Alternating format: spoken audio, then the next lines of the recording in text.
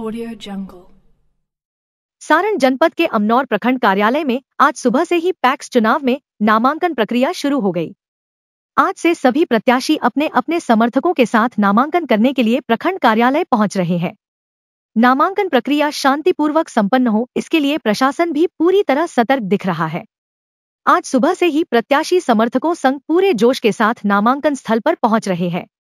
इसी कड़ी में अमनौर प्रखंड के शेखपुरा पंचायत से जितेंद्र कुमार यादव ने पैक्स चुनाव को लेकर नामांकन किया। इस दौरान सैकड़ों की संख्या में कार्यकर्ता मौजूद रहे। अमनौर सारण से मनोज कुमार सिंह की रिपोर्ट। रवि जी, लगातार देखा जाता है कि आपके द्वारा जन समस्या का भी निवारण शेखपुरा में किया जाता है। आपके चाचा लगातार चौथी बार इस बार नामांकन के अपेक्ष अध्यक्ष के लिए।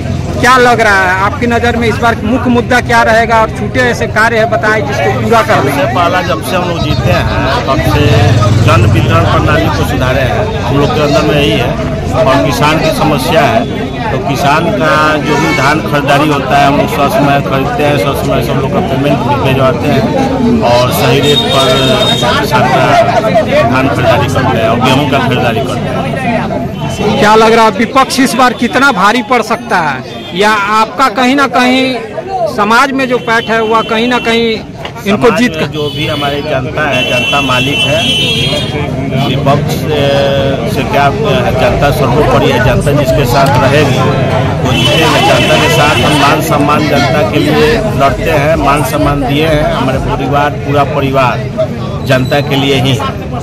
जी। इसी से हम चौथा टर्म है हम लोग का लड़ने जा रहे हैं। ठीक है। लगातार कितने टर्म से आप शेखपुरा पंचायत के पैक्स अध्यक्ष रहे हैं?